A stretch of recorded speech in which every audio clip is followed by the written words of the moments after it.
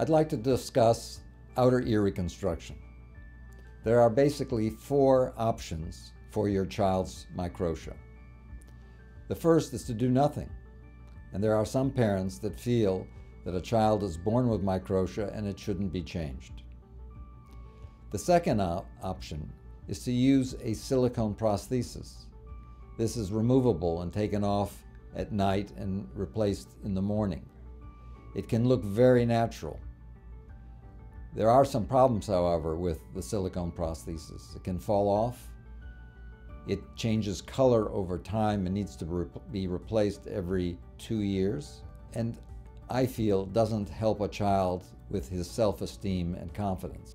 The most common method is the use of rib cartilage. Many proponents of this method feel that rib cartilage is natural tissue.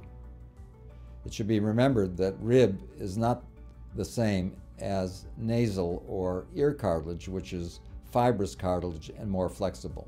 The issue that I have with rib cartilage is that it leaves a chest scar and cannot be done before a child is well aware of their deformity when they're in school at close to 10 years of age or later.